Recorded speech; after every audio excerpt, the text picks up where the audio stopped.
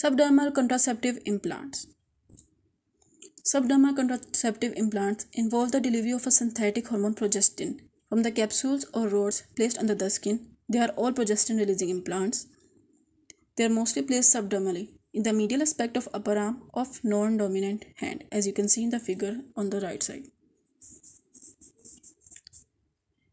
Function of progestin. It performs three functions. It prevents ovulation, it thickens the cervix, and it thins the endometrium. We will discuss two types of implants here. Implanon that releases etonogestrel and Norplant that releases levonorgestrel. Number 1 Implanon. It is a small thin plastic rod that is inserted subdermally to prevent pregnancy. The rod releases etonogestrel into the body over a 3 year period. It is a half inch long hormone releasing rod. There is no estrogen released and it is effective up to 3 years.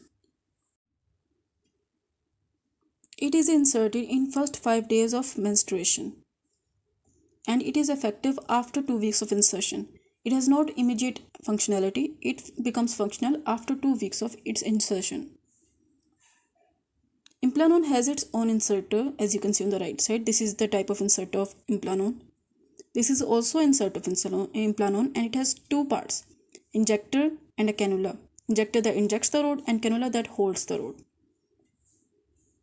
Implanon contraindications. It is contraindicated in MI history, stroke history, DVT, allergy to implant and breast cancer. Side effects of Implanon. Menstrual irregularities, vaginal inflammation, headache, acne and breast pain. Norplant.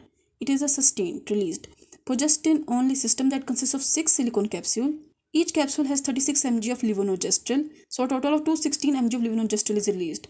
It does not have a special inserter. It is placed subdermally by making an incision in the skin and inserted in a fan-like fashion as seen in the figure.